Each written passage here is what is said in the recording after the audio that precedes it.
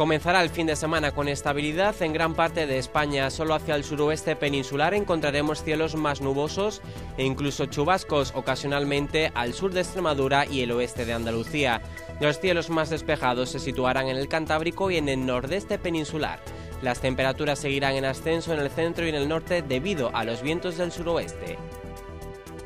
Ya en Navarra, en la zona norte y noreste, alguna bruma o niebla matinal con cielos poco nubosos o despejados, esperándose llegar a los 25 grados en algunos puntos de la vertiente cantábrica debido al viento del sur. En el este y sur, cielos en general azules con escasas o nulas nubes.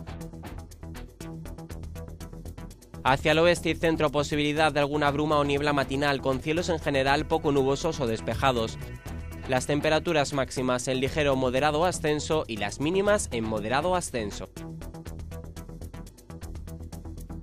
Los vientos del sur flojos o moderados soplando con más fuerza en la zona norte.